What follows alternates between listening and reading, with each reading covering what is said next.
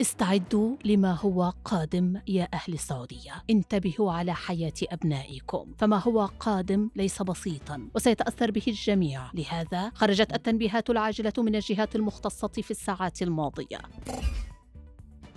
تحذير عاجل وقرارات استباقية سريعة اتخذتها الجهات المعنية في المملكة في الساعات القليلة الماضية استعدادا للتعامل مع الحالة الطارئة القادمة على المملكة. فقد أصدرت مراكز الإرصاد إنذارا باللون الأحمر وهو أعلى درجات الطوارئ من سقوط أمطار شديدة الغزارة في الساعات القادمة على مناطق متعددة من المملكة على رأسها العاصمة الرياض ومكة المكرمة والمنطقة الشرقية وجوف والباحة والحدود الشمالية. تزامن ذلك مع بدء هطول أمطار غزيرة على الرياض مع صواعق رعدية قوية وسيول وبرد في حالة تستمر لمدة يومين. وعلى إثر ذلك أعلنت إدارة تعليم مدينة الرياض تعليق الدراسة غدا الأحد في جميع المدارس التابعة لها وذلك بسبب سوء الأحوال الجوية بناء على تقارير الأرصاد والدفاع المدني. وكتبت إدارة تعليم الرياض في حساب حسابها الرسمي على منصة إكس بناء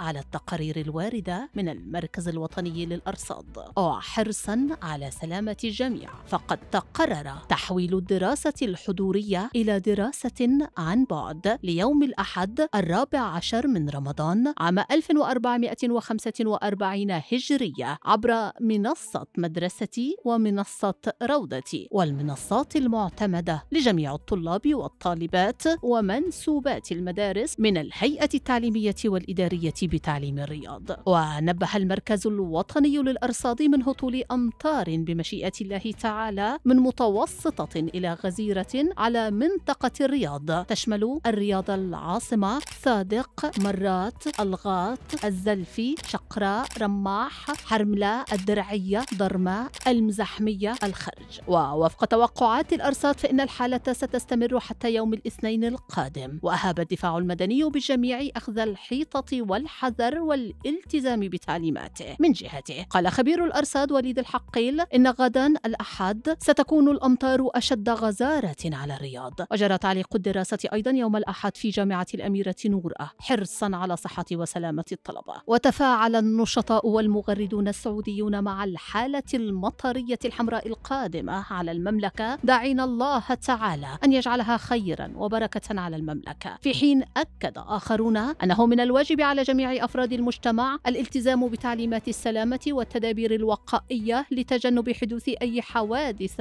لا قدر الله. وطلبت الجهات المختصة الجمهور بالابتعاد عن مجرى السيول والأودية والتي من المتوقع في الساعات القادمة أن تشهد تجمعات كبيرة لمياه الفيضان. قد تتسبب في جرف كل من يتواجد في المكان.